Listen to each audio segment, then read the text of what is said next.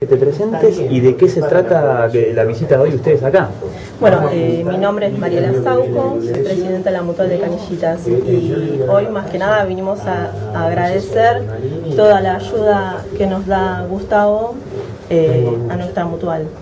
Perfecto. Gustavo, ¿cómo ha recibido este, medalla? El Canillita es un trabajador, la mutual que, que ellos conforman lleva adelante labores solidarias, así que nosotros todo el año, todo el equipo de colaboradores, siempre este tipo de entidades que son un puñado de personas que intentan ayudar a miles, a decenas de miles y lo hacen que lo hacen siempre, lo hacen desde el corazón y lo hacen con tanto esfuerzo, queremos ayudarlos.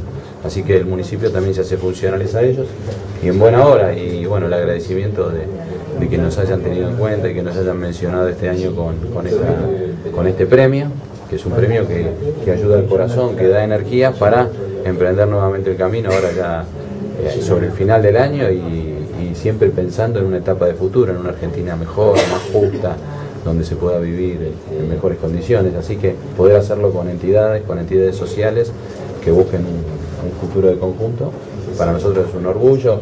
Además tienen una nueva presidente, que es una presidente joven, que, trabaja a la par de todos. Bueno, frente a, la Honorario.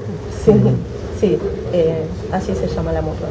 ¿A quién, ¿A les otorgan ustedes este premio? En este caso al intendente de San Isidro, eh, pero destacarse por su colaboración con la entidad. Sí, sí, por eso mismo.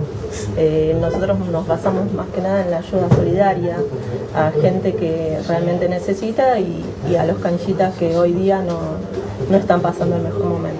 Justamente recién mencionaban la situación eh, aquí en, bueno, en esta zona, que están, se han cerrado 12 puestos de trabajo, 12 eh, paradas. ¿Esta situación se repite en toda la provincia, en algunos municipios? ¿Cómo lo, están viendo? Y, y también pose ¿no? su opinión al respecto.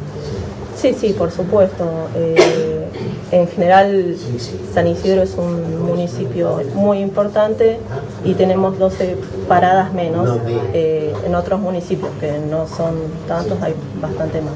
¿Y a qué se debe que eh, es, una, es un fenómeno de proletarización. El, el, mundo en algunos lugares no fue avanzando hacia el desarrollo, hacia la creación de nuevos puestos de trabajo y pérdida de industria. Igual la realidad viene en eso. antes que era un antes un canillita era una persona que trabajaba desde la madrugada, trabajaba mucho, pero también tenía la oportunidad dentro de, la, de las posibilidades de ganar un poco mucho, por así decirlo. ¿Pero por qué? Porque había industria, había gente que iba a buscar trabajo, que salían para los colegios. Bueno, al haber menor actividad, cerrarse la actividad económica, ocurre esto, pérdida de oportunidades, pérdida de fuente de trabajo. Nosotros somos optimistas respecto del futuro, por eso hay que ayudar desde ahora a todos aquellos que estén pasando un mal momento y que hayan cerrado sus, sus, puestos. Si bien las noticias ya no se vocean, como representante de los canicitas, si tuvieras que hablar de lo que sucede en, en San Isidro, ¿cómo serían esas noticias? Y es, algo, es, muy, muy de preocupar, ¿no? Porque dos separadas menos es muy ah, en lo que tiene que ver, pero y las noticias que surgen de lo que ocurre en el municipio, como, digamos, el canicita antes eh, relataba los títulos y los voceaba para que la gente compre los periódicos. ¿Cómo es la realidad en San Isidro? Claro. Ah. y bueno. Y, eh, y ya no están así como antes. Pero hay un deterioro en la calidad de vida, hay un deterioro en la calidad de vida.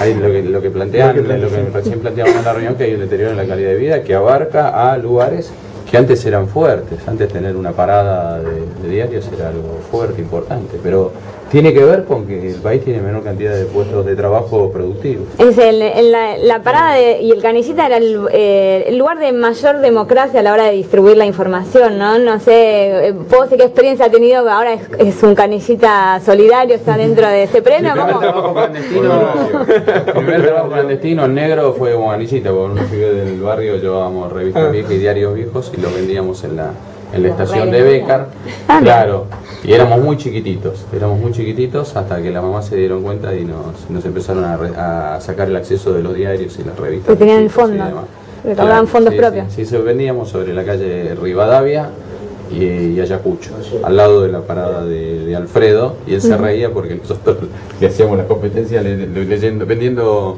cosas viejas, que obviamente la gente se divertía y nos daba algo y después nos volvíamos para casa. Intendente, usted hizo referencia que durante todo el año ustedes desde el municipio acompañan a los canillitas. ¿Cómo es este tipo de apoyo?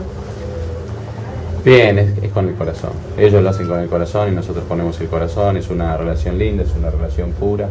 Así que en buena hora que podemos